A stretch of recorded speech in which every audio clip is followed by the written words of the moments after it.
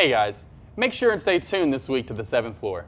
That's right, and we'll be talking about the Marshallese people in Arkansas. We'll be dropping in at Crazy Mike's Catfish and Wings and things, also taking a look at the Arkansas River. And we'll be heading into Euler's Theater for an inside look at acting. All that and much more this week on the seventh floor, so don't change that channel.